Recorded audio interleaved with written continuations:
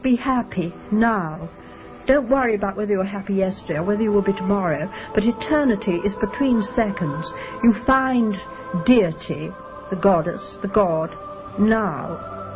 And your home becomes your sanctuary. You have a sanctuary as your heart, a candle, one candle, a stick of incense. Wherever you are is heaven.